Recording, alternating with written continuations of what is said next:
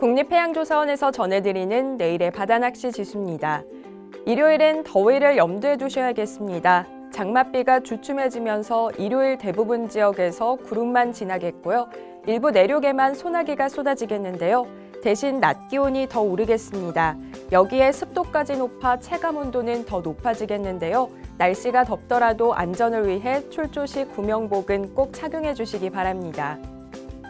전반적인 바다 낚시 지수 보시면 나쁨과 보통, 좋음까지 골고루 분포된 모습인데요. 포인트별로 자세히 짚어보겠습니다. 서해안입니다.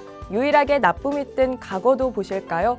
초속 3m 안팎의 바람과 1m 내외의 파도가 예상됩니다. 파도가 조금 높겠으나 낚시하기에 무리는 없겠는데요. 대상어인 감성돔의 물때가 좋지 않습니다. 출조하신다면 물때 좋은 우럭으로 대상어 바꾸시는 것을 추천드립니다. 남해안은 파도가 거친 곳이 있습니다. 연도에서 1m 넘는 파도가 치겠으니 출조 삼가주시고요. 욕지도도 나쁨이 떴으나 뱅해돔과의 물때가 좋지 않을 뿐 자세한 수치 보시면 출조 가능하겠습니다. 다른 어종들로 손맛 느껴보시죠.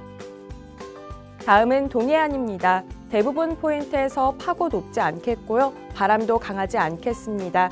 동류는 대조기 전후로 조항이 좋아지는데요.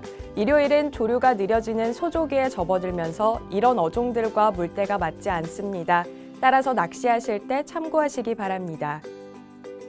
마지막 제주도입니다. 제주 해상에는 일요일 오전까지 천둥 번개 치는 곳이 있겠으니 안전사고에 유의해 주시고요. 물결이 1m 넘는 서귀포를 제외한다면 두 포인트에서 무난한 낚시가 예상됩니다. 내일의 바다낚시 지수였습니다.